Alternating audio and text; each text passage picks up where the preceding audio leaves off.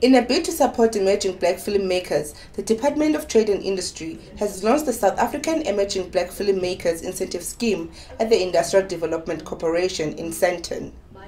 Minister of Trade and Industry Rob Davies says the intention of the incentive scheme is to nurture and grow black filmmakers to take on big productions and thus contribute to employment opportunities.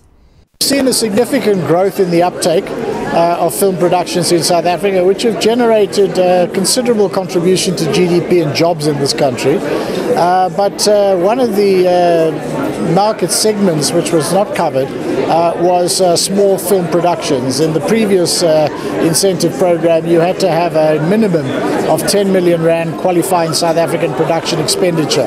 And that cut out a number of small emerging, particularly black owned uh, film uh, makers. And uh, this is something in our consultation over the last several months or year or so that we've been hearing from, from the industry. He explains how the incentive scheme works. This will now be open to uh, any company black owned uh, with BEE level 3 uh, that is with a budget of 1 million qualifying production expenditure in South Africa uh, or 500,000 in the case of documentary makers.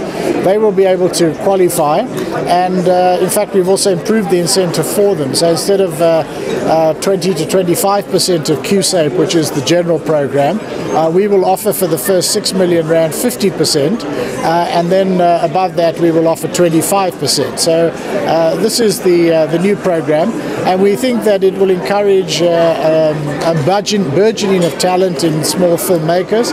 We will give people a, a limit. They can apply five times maximum, uh, after which we expect them to have graduated into the, uh, the, the, broader uh, filmmaking program.